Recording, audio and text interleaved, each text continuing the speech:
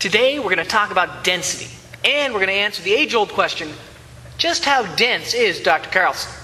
First, let's talk about what density is. Okay? Density is a measurement of the substance, and we want to know how much mass it has, which kind of has to do with how heavy it feels, and how big it is, how much volume it takes up. Those two things together tell you something's density.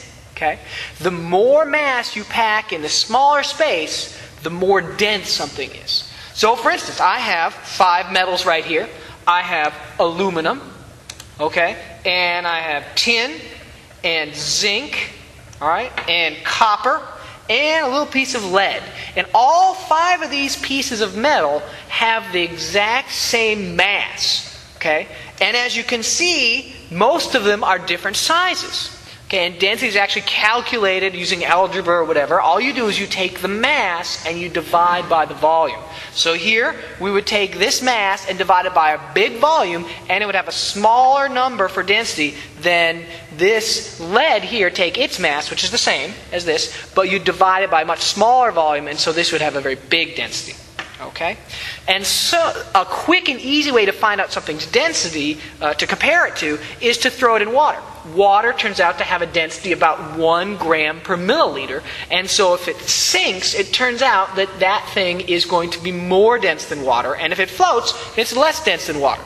All right, so again, the two things we need to know is that uh, you need to know how much mass something is and what its volume is. And those two put together uh, will tell us its density.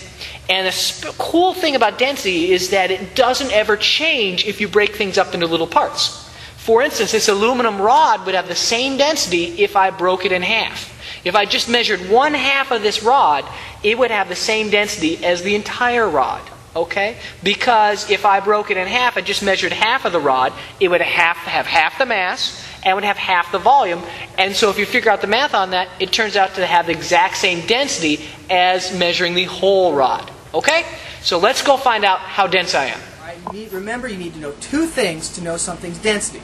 You need to know its mass, and you need to know its volume. And usually we do mass in grams and volume in milliliters, or you could do kilograms and liters, something like that. So let's find out what my mass is. And we can do that using a scale. So I step on the scale. It says right about 71 kilograms. So I so we found out my mass, which was 71 kilograms. Now we need to know my volume, and we'll know my density. Okay, just take the mass divided by the volume. Well, we're going to use a method that Archimedes first used, uh, which is when you climb in the bathtub, you can see that the water level goes up. And so when you get out of the bathtub, the water level goes back down. If you measure how much the water level goes up and back down, up, then you'll know how much volume you take up. So I have a garbage can full of water, Okay, and I'll get in and I'll displace a bunch of water. A lot of water will come out. And then when I get out, we'll fill it back up to the top, and however much water it takes to refill it will be my volume. So here we go. Nice cold water. Oh yeah, that feels good. Ugh. So we're displacing water here. All right. Displacing water. And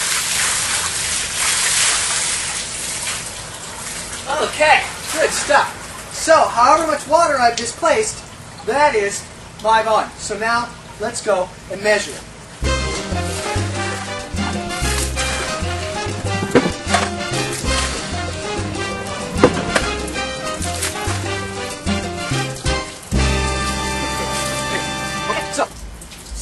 If we add up the volume of all the buckets that have water that I poured in the trash can, it adds up to be 69 liters of water.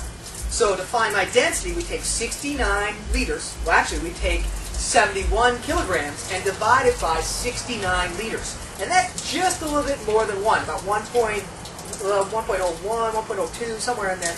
I'll figure that out. So anyway, so it's just over uh, density of 1 kilogram per liter, and it also works out to being about 1 gram per milliliter. And the interesting thing about that is that water has that same density. Okay? And since I'm just a little bit more dense than water, a little bit over one, that should mean that I sink in water. And I do. When I blow out all the air in my lungs, which I think I did when I was in there, then my, my density is less than water, it's more than water, and I sink. All right? And so you can quickly find whether you are more or less dense than water by getting in, an, in a pool and blowing out all your air and seeing if you sink or float. All right? And that should work out because most of your body is water, so you'll be right around 1. So if you want to really guess your volume, just find your mass in kilograms. All right? So enjoy playing with density, and remember that Dr. Carlson is dense, and I have a density just over 1.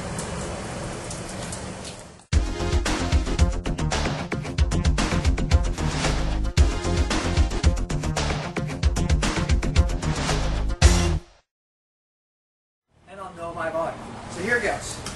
Nice and cold. Yeah, there you go. See if I can fit in this. And this. No stinking way I'm going to fit in this. Oh, stink. this is not. I have to get a bigger garbage can.